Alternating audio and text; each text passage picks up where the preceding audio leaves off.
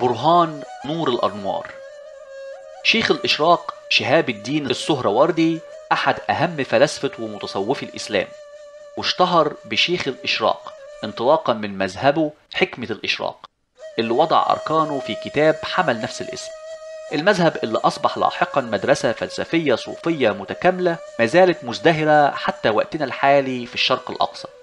السهروردي كان كتير الترحال وخالط العلماء والفلاسفة وتعلم على إيد عمالقة الصوفية في عصره من أمثال مجد الدين الجيلي وتلامذة ابن سينا إلى أن استقر به الحال في مدينة حلب ببلاد الشام اللي لقى فيها نهايته المأساوية بعد ما صلاح الدين الأيوبي أمر بقتله بسبب إلصاق البعض به تهمة فساد المعتقد وخروجه عن الدين الإسلامي بآرائه الفلسفية. لكن دي قصة لمرة تانية. السهروردي مؤسس الفكر الفلسفي الإشراقي اللي بيدعو للوصول للمعرفة عن طريق الذوق والكشف الروحاني بخلاف توجه الفلسفة العام اللي بيدعو للوصول للحقيقة عن طريق التقصي والتحليل البرهاني. لكنه كان ملم بحكمة فلاسفة اليونان ومصر وأوائل المتكلمين وفلاسفة الإسلام واستخدم النماذج الفلسفية دي لتوضيح غرض فلسفته الإشراقية. وما اعتقدش اني هكون ببالغ لو ادعيت انه كان من اكبر الداعين للتأمل الروحاني من بين فلاسفة الإسلام. السهروردي استخدم مفهوم الإشراق بشكل أوسع من مجرد الذوق والكشف. وذهب إلى إن الله نور الأنوار ومن نوره خرجت أنوار أخرى هي عماد العالمين المادي والروحي. فبيقول السهروردي في عمله الخالد حكمة الإشراق إن النور الإبداعي الأول فاض عن الأول الذي هو نور الأنوار وتصدر عن النور الإبداعي الأول أنوار طويلة سماها القواهر العالية وتصدر عن هذه القواهر أنوار عرضية سماها أرباب الأنواع تدير شؤون العالم الحسي.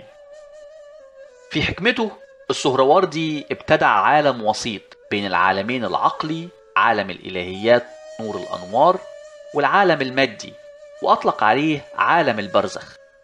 للأسف العصر اللي نشأ فيه السهروردي القرن السادس الهجري أو الثالث عشر الميلادي عصر صراعات سياسية ومذهبية حادة وحلقة من سلسلة صراعات بدأت في القرنين الرابع والخامس الهجري.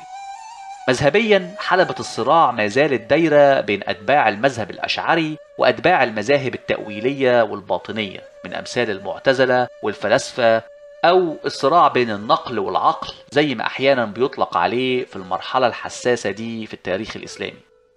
ومن الناحية السياسية العالم الإسلامي كان موزع ما بين الخلافة العباسية السنية والخلافة الفاطمية الشيعية.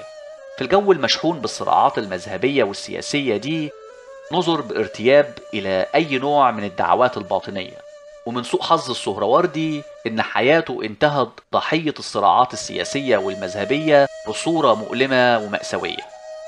على أي حال السهروردي قدم برهان نور الأنوار كحجة وجودية منطقية على وجود الله. كان متأثر فيها جدا ببرهان الصديقين اللي قدمه ابن سينا. برهان السهروردي واضح فيه جدا حكمته الإشراقية. فبالرغم من إنه بيستخدم نفس قواعد المنطق اللي استخدمها ابن سينا إلا إن برهان نور الأنوار بتطغى عليه مسحة الذوق والكشف الروحاني للعارف الإشراقي. السهروردي بيقول في حكمة الإشراق لا يوجد شيء يقتضي عدم ذاته ولا وجودها وإلا لكان غير موجود بالأصل وإن نور الأنوار موجود وحداني الذات. لا يوجد شرط في تقرر ذاته ووجودها وإن كل ما عاداه تابع له وحيث أنه لا شرط ولا ضد فهو إذا غير مبطل ذاته وعليه فإن وجوده سرمدي دائم وإنه قيوم بالذات. السهروردي بيجادل إن سلسلة العلل اللي بتسبب كل الموجودات نور الأنوار. الله وحده فقط هو مصدرها. هو المستقل وجميع الكائنات الأخرى تابعة. والنور بالنسبة للسهروردي مش مجرد دفق من الطاقة بتتنقل من جسم منير في جميع الجهات بل قدرة على جعل الأشياء الأخرى ظاهرة. فكل شيء في حضرة النور يصبح ظاهر لكن لا شيء ينتقل من النور إلى الشيء المنار. الشعاع إذن هو العرض أو الأثر المنير الشيء المنار. السهروردي استخدم قواعد عامة بنى بيها ميتافيزياء برهان نور الأنوار. أهمها قاعدة إمكان الأشرف اللي ببساطة معناها إنه لا يمكن أن يوجد شيء بدون علة أشرف وجودا منه. والقاعدة الثانية هي استحالة التسلسل أو التراجع التسلسلي اللامتناهي من العلل المتزامنة. فلا بد من وجود نهاية للسلسلة عند سبب أول ضروري. أبدي دائم الوجود واجب بذاته. بدون علة بسيط من جميع الجهات قدراته لا متناهية ولا حد له بالقوة. واجب الوجود عند ابن سينا نور الأنوار عند السهروردي الله في الأديان التوحيدية. على أي حال هنرجع نناقش فلسفة السهروردي الإشراقية بالتفصيل في حلقات سلسلة فلسفة التصوف.